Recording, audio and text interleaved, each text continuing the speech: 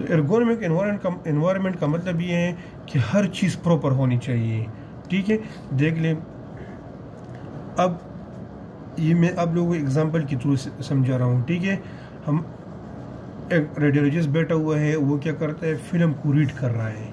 और रेडियोलॉजिस्ट का मकसद ये है कि जो पैथोलॉजी है, वो आसानी से डिटेक्ट हो जाए। पैथोलॉजी डिटेक्शन करता है। ठीक है? तो वो एक रूम के अंदर जाता है। रूम में क्या करता है? जो बक्स लगे हुए इल्यूमिनेटर इसको ऑन करता है और इसी फ़िल्म को इसके ऊपर प्लेस करता है, इसी तरह। सेकंड क्या करता है? वो जो इनसाइड रूम में बैठा है, उसी रूम का लाइट ऑफ़ करता है।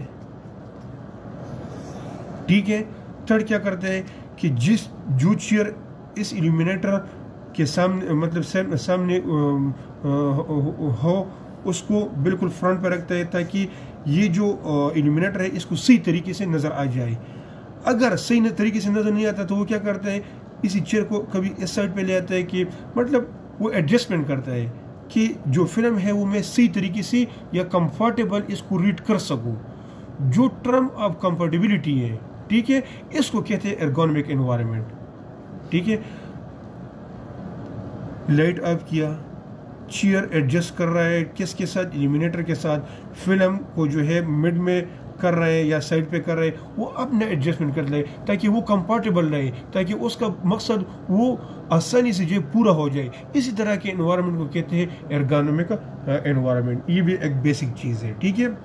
तो ये जो है आप लोगों का बेसिक था और कल से जो है हम इक्विपमेंट की तरफ़ जाएँगे कि आया जो कन्वेंशनल है या डिजिटल है, इसके इक्विपमेंट में मेन डिफरेंस क्या आती है।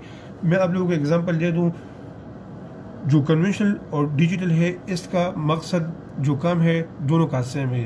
कन्वेंशन में भी डायनेमिक स्टडी होता है और जो डिजिटल है, इसमें भी डायनेमिक स्टडी पॉसिबल होता है। लेकिन डिफरेंस इसकी इक्विपमेंट में आती है कि यहाँ पर जो कन्वेंशन में मॉनिटर यूज़ होता है और जो डिजिटल में मॉनिटर यूज़ होता है, इसमें फ़र्क होगा। ठीक है? अच्छा जो इमेज इंटेंसिफायर ये सारे इक्विपमेंट्स पढ़ेंगे आप लोग कि इसमें जो इंटेंसिफायर यूज़ होता है या डिजिटल में, इसकी डिज़ाइन में क्या डिफरेंस है? ठीक है? कंपोजिशन में डिफरेंस क्या है? तो ये आप लोगों का फ़र्स्ट लेक्चर है। जिसको भी मसला हो तो आप लोग ईमेल में पूछ सकते हैं। ईमेल है Mohammad Shahzeb